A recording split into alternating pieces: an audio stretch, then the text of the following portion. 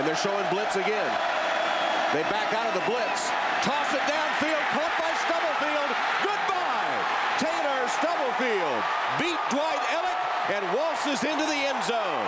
It covers 97 yards.